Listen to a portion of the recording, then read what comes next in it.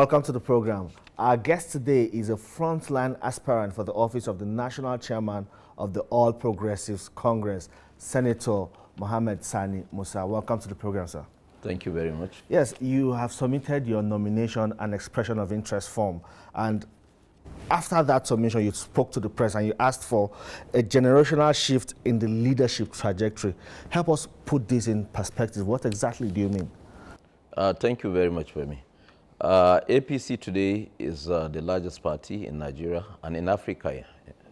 And uh, if you look at uh, the population that constitutes uh, the membership, you will realize that uh, majority are those in their youth, youthful age.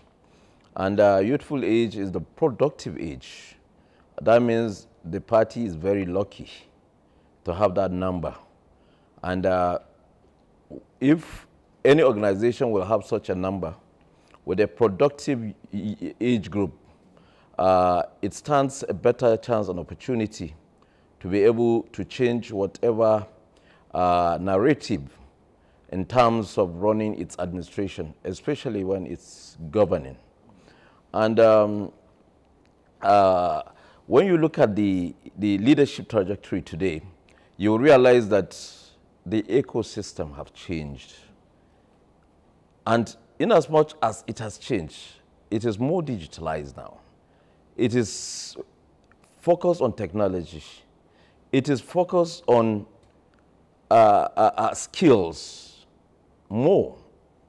And if you look at the number of youths that have formed, I mean, have registered to be members of uh, APC, they constitute close to about 80 percent. So if we are talking about leadership in APC, for the party to earn the confidence of these youths, they must be seen or they must see that something is done in terms of how their participation is. So in so doing, I believe that by the time I become the leader of the party, I will be able to be adaptive to a participatory kind of uh, work style uh, which will usher in uh, a, a, new for these youths, and uh, they will have a sense of belonging. And this is what this country needs today. Uh, I mean, you cannot get us back to those age, I mean, those days that uh, uh, we, we, we stand not to believe in, in a change. This is a party of change.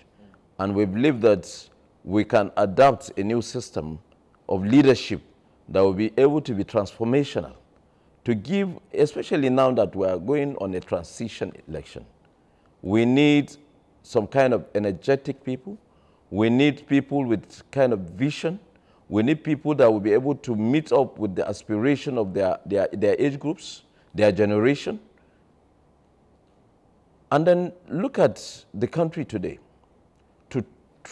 transverse Nigeria today, with our diversity to be able to get everyone to, to queue in, there is no way we'll do away with the use of technology. And majority of these people that are so into it are the youths. And that is why I feel the leadership of the party now should look at it very, very carefully and see how they can embrace the youth and create that generational shift.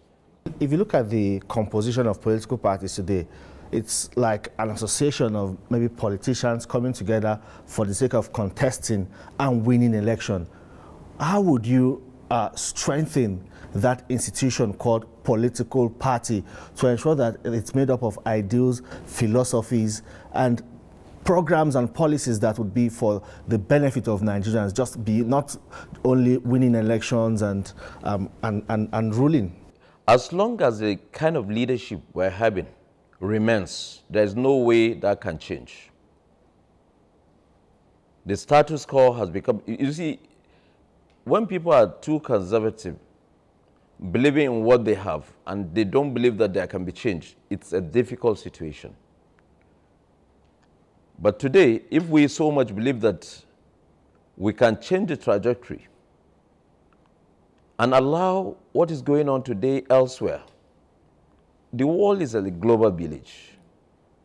When you're talking about uh, political parties, it's a, it's a, a coming together of different politicians and everything. Politicians, even the politicians have skills. We can be creative in our leadership styles. And we make the differences. And we create an ideology out of it.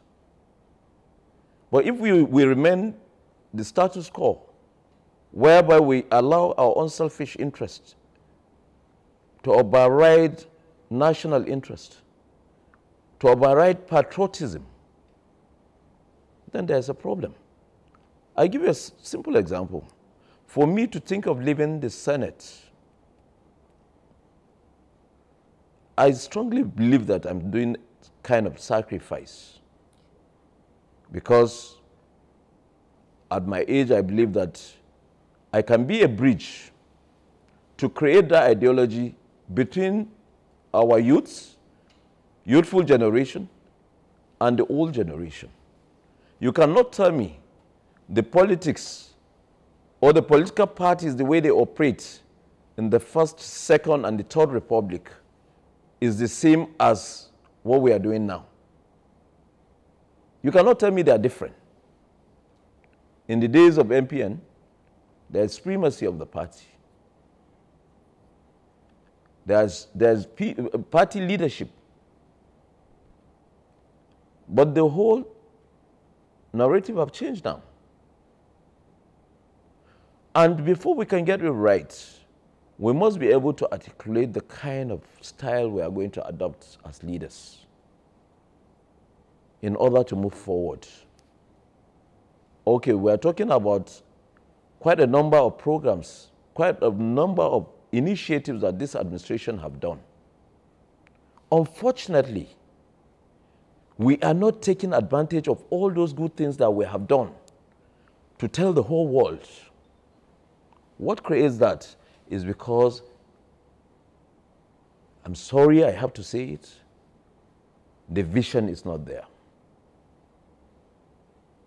An administration like this that have done so much to transform the country, we have in seven years what an administration of 16 years was not able to have.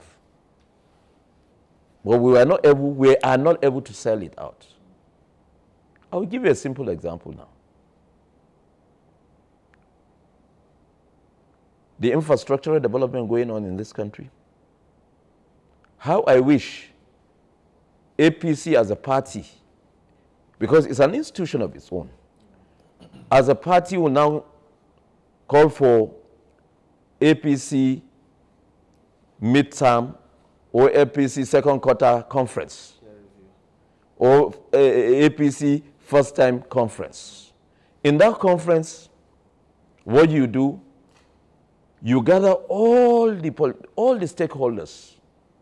Because if the executive is doing a retreat today, it's only meant for those executive ministers, head of parastatals, and a few people that will be invited.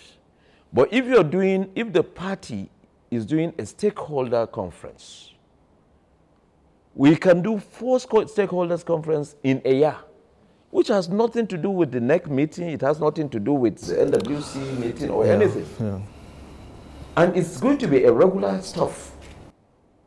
You will see that the party administration will have a sense of uh, uh, uh belonging within the administration, within the governors. And during these party conferences, we will elaborate all the good things that we have done from smaller constituencies to the big, to national, state, local government. We will, show, we will showcase everything we have done because it will be a forum where everyone will be able to come and speak and give those things that we have been able to achieve within this period that has passed. And in the next quarter, we do the same thing. The party will create something that we call peer review. What I can see in Kaduna, if it's not there in Niger, I will go and see why is it not in Niger? Why can't we copy and bring to Niger? or if there is some agricultural development that has sprung up in Niger State, I will say, oh, we don't have it in Gombe. Let me see how Gombe can come to Niger and tap it, and we interchange development. And in so doing, our party will remain strong. Our party will remain a party to beat. I don't, I don't want to sit here and elaborate so much on my plans, but I will tell you that in the last two years, I have studied and I've worked so much to see how we can reposition not just APC today in Nigeria, but our political development completely. And we cannot do that without having strong political parties that will operate like institutions, not operating as a base for certain individuals. No.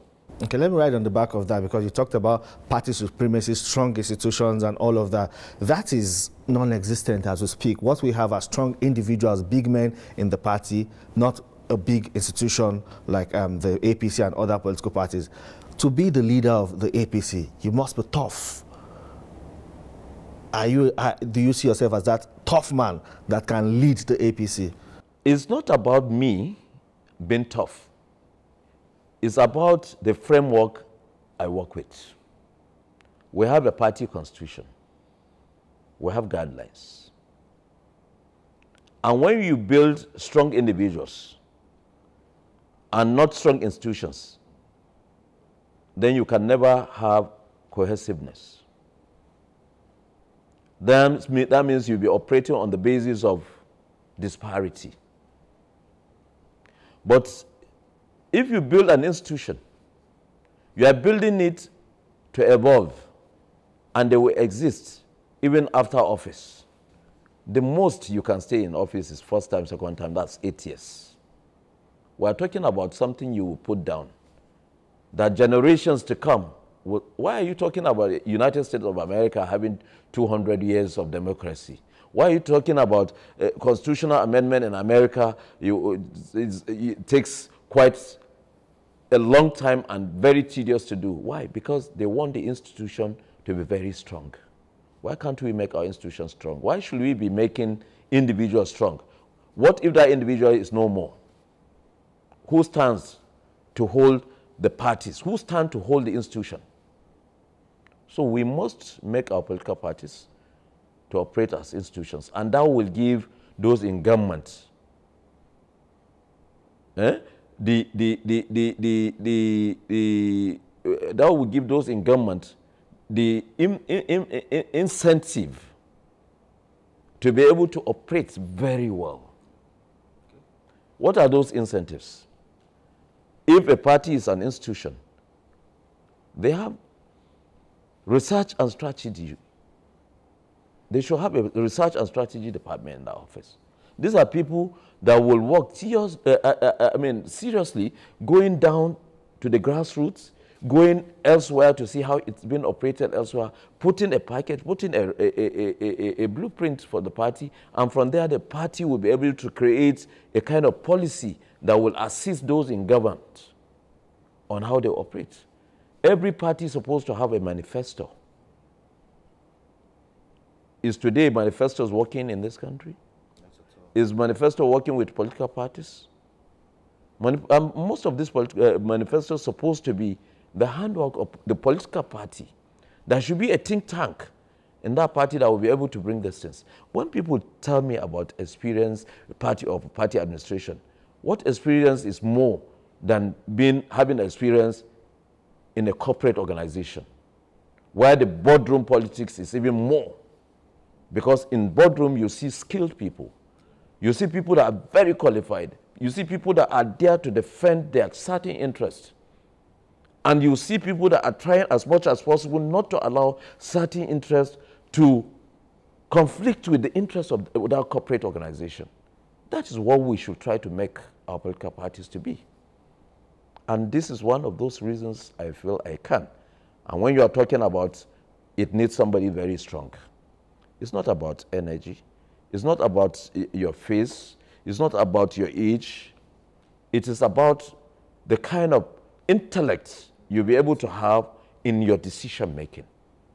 There's nothing better than having a leader that will be very decisive.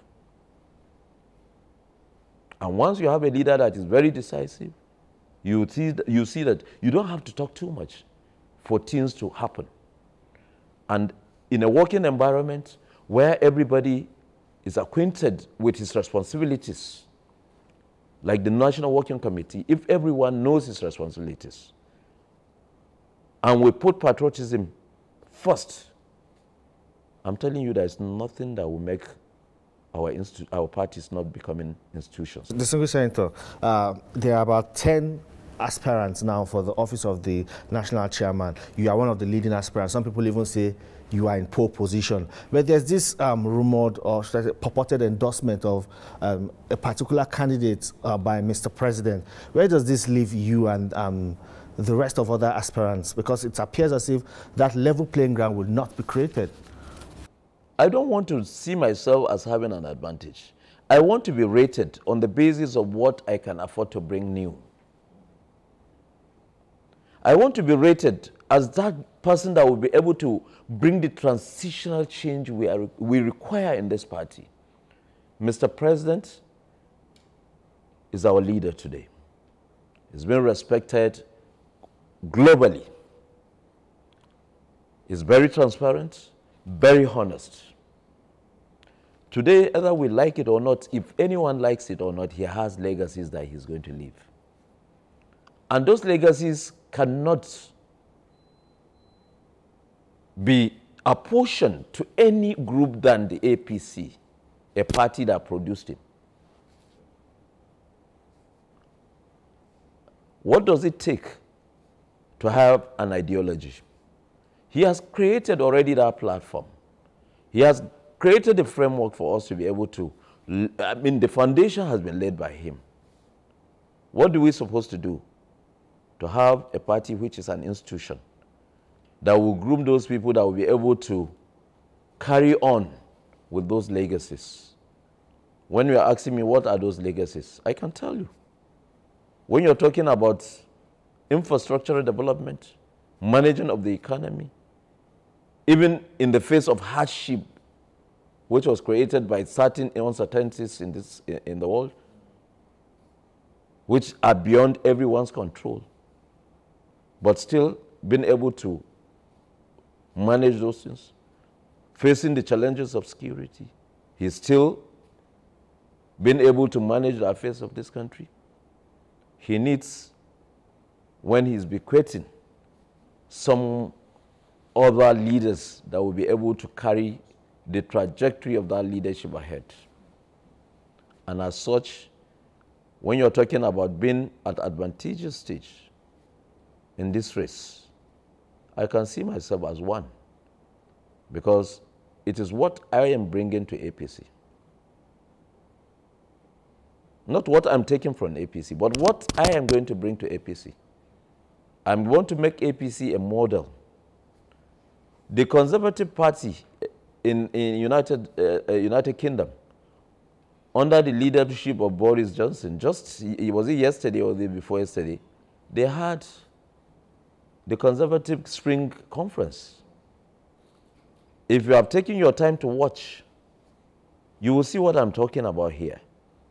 You will see what, when you make a party, a political party, an institution, you will see what it becomes. It will be a ground or an organ that not one single individual that is so powerful will be able to make decisions that even if 100 million does not agree with it. But the good thing about this country is that, especially in APC, we respect our leadership. And we believe that Mr. President will anchor a transition in the party that he will be able to go on retirement after leaving office and be very proud of. Well, some people are already saying Mr. President has endorsed a particular candidate. Don't you think it will affect the chances of um, your chance and the chances of others who are supposed to enjoy a fair contest? You cannot deny Mr. President of having preference on anyone. Mr. President can have preference on any one of us. But that does not foreclose the possibility of Mr. President agreeing to certain statutes that will make, because they might be superior to his own aspiration as to liking one person. You can't deny it. But all of us that are contesting this election are being loved and liked by Mr. President. We are all obedient servants of Mr. President. We are all die-hard followers of Mr. President. If you knew what I have done in 2015, I was not buying for any office. What I have gone through, you have seen my picture. I have shown you my picture the day I was released from detention. Was I doing it for any purpose? At that period, I was doing it out of patriotism, out of the fact that I know this is the only president that will be able to come with the exigency of what we had that time. He's the only person that will make this country better. And he did. Crying out loud, we must give this credit to him. So when people are saying somebody has been endorsed, how can we foreclose that? Mr. President is the leader of the party. If the Mr. President invites all of us and sat with us, we are all his children. This is my opinion. My kids, my children, this is my opinion. And we will say that this is a good opinion. This is your own opinion, but we have some reasons to give you why we came out to contest. But we cannot go against what you want. The decision finally is yours. He may eventually come to terms with your own opinion. Exactly. Because the exigency of today is quite different. We have two months to primaries. We had congresses that had created a lot of disparities, dissolution, and conflicts everywhere. Most states, there was a reconciliation committee. Are you telling me that today those conflicts are over? Are you telling me that every state have been reconciled? How would you make them go away? Because you just have to hold the national convention and the, move on. The, no, no, no. We don't have to reconcile everything now. We can do the convention, but I can tell you it, it, will, it will take a leader that can be very decisive, a leader that can know what exactly equity and fairness is to be able to give APC a direction. And that is me. I have that requisite knowledge of how we'll be able to tackle these differences and mend so that we'll be able to win the election. All right, thank you very much for your time and wish you the very best as you continue your journey to lead the All Progressives Congress. Thank you very much. Thank you, sir.